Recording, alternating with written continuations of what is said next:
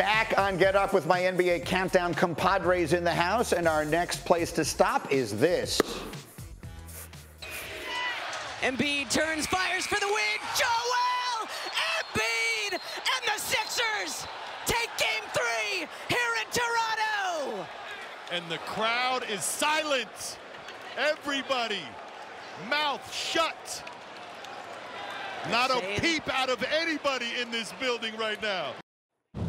That's Kate Scott and Alaa Abdelnaby, uh, Abdelnaby from the NBC Sports Philadelphia. And, and I will let you guys who picked, um, Stephen A., I'll start with you. You, you. you gave Embiid your MVP vote. It's obviously too late for that now, but he had the MVP moment last night. We talked so much about Philly leading into this series. How about them now up 3 0?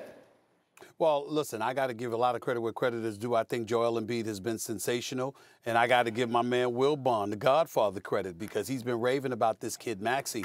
Uh, talk to the Philadelphia 76ers as I have, and what you talk, what you're talking about is the elevation and the progress of a kid that, that that's just astronomical.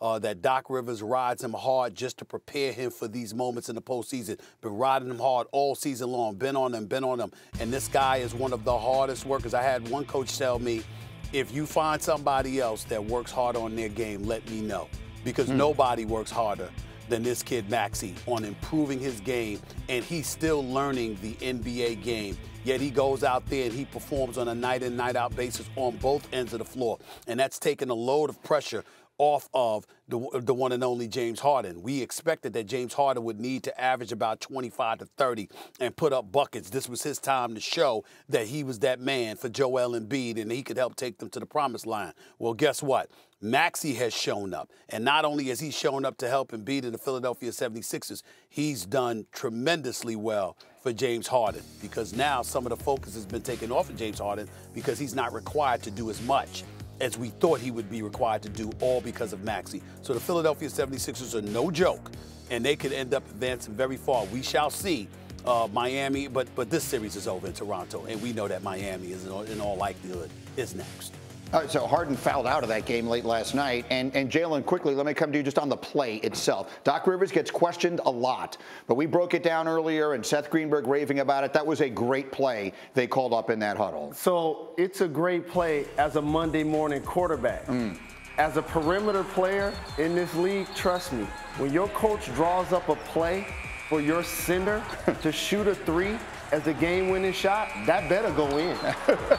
I'm trying to tell y'all, not even from a coaching standpoint for or the 14 guys standpoint. That's Tobias Harris setting a staggered screen for his center. Mm-hmm. So Joel Embiid is having a magical year. It was a terrific game-winning shot, and as Stephen A. mentioned, this series is basically over. Ca- I can't wait to see how they perform in the next series. So, Wilbon, that really is my question to you. It's one thing to beat Toronto, and they are decimated. No Scottie Barnes and the rest of that. Do the Sixers look like they have cured all the things that illed them, and are they ready to make the deep run? We wonder if they can do it. I, you know, I, I like the deep run part of that question, Greeny, but you never fix everything.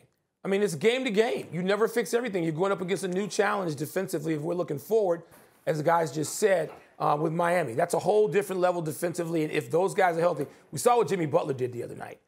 Um, so, but Joel Embiid, to your point earlier, he MVP moment indeed. Like Stephen A.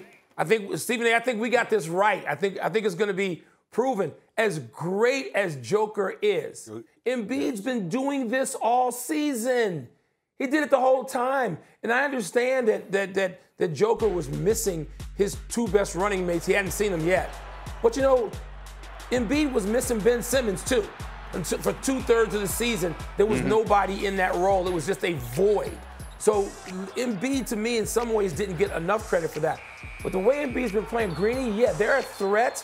They're a serious threat with Maxey playing that way and pressure being off Harden. Harden doesn't have to be Hall of Fame great every night. Yeah. Like we probably anticipated he would need to be because, as Stephen A. outlined, the emergence of Maxey, a two-way guy you can count on. All right, I got four minutes left, and I will say this. If you know Michael Wilbon, you know he doesn't get up this early in Arizona just because he loves the rest of this group. Thank you for watching ESPN on YouTube. For live streaming sports and premium content, subscribe to ESPN Plus.